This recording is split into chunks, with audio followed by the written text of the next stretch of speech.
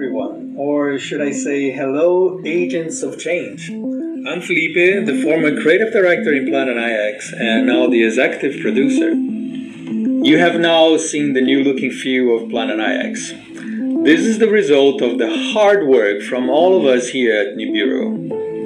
The new design is a reflection of the story of our game. Why is it so dark? Some of you have asked. Where is the beautiful planet we had shown you before in our previous communications? Rest assured, the beautiful planet is in there. Earth is our only home, yet it hasn't been properly taken care of.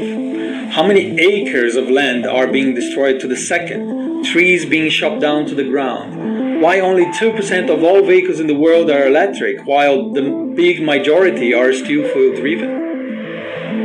When we came up with the idea of developing Planet IX, something was very clear to all of us.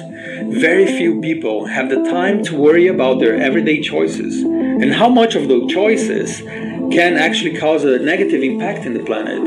We all need jobs, we need to continue with our routines, and of course, make an income. That's why sustainability is the core concept of our game. As the game progresses, the more we will do for the planet.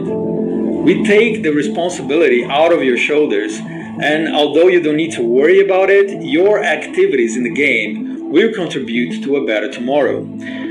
Did you know we have already planted over 3